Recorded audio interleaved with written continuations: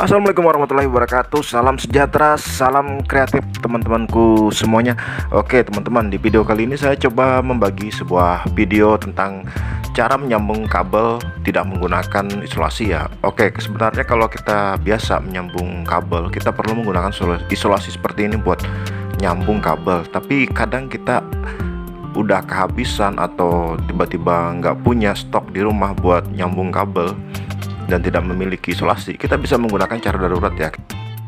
Kita bisa menggunakan sedotan ya, sedotan dari bekas air mineral ya.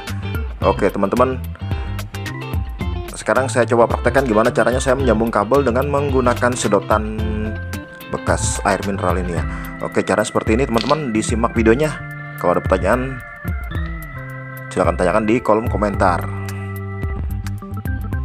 Oke kita pertama kita kupas ya masing-masing ujung kabel yang, yang mau kita sambung ya. Karena saya pengen cepat saya gunakan korek api pencis gini aja ya supaya cepat kerjaannya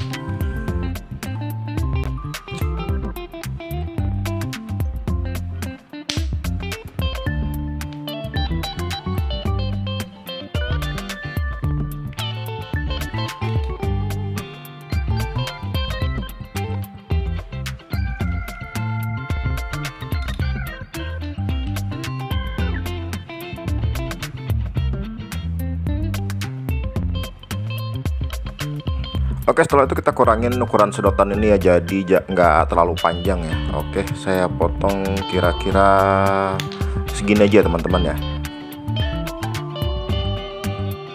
Oke sekarang kita masukkan sedot sedotan tadi ke salah satu kabel yang mau kita sambung. Oke seperti ini teman-teman.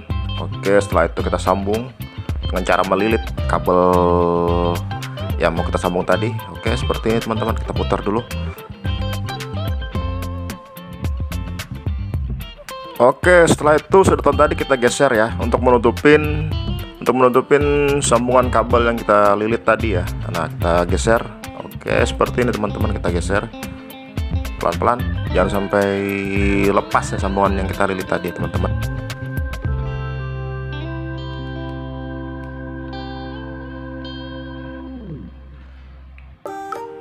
Oke setelah seperti ini teman-teman sedotan ujung-ujung sedotan tadi kita bakar ya kita bakar tapi jangan terlalu lama. Nah seperti ini kita bakar langsung kita satukan dengan kita picik-picik seperti ini ya supaya dia menyatu dengan kabel ya yang kita sambung ya. Nah seperti ini teman-teman kita picik-picik seperti ini. Oke begitu juga dengan ujung yang satunya. Kita kita cara lakukan cara yang sama ya teman-teman. Nah seperti ini teman-teman. Nah gitu.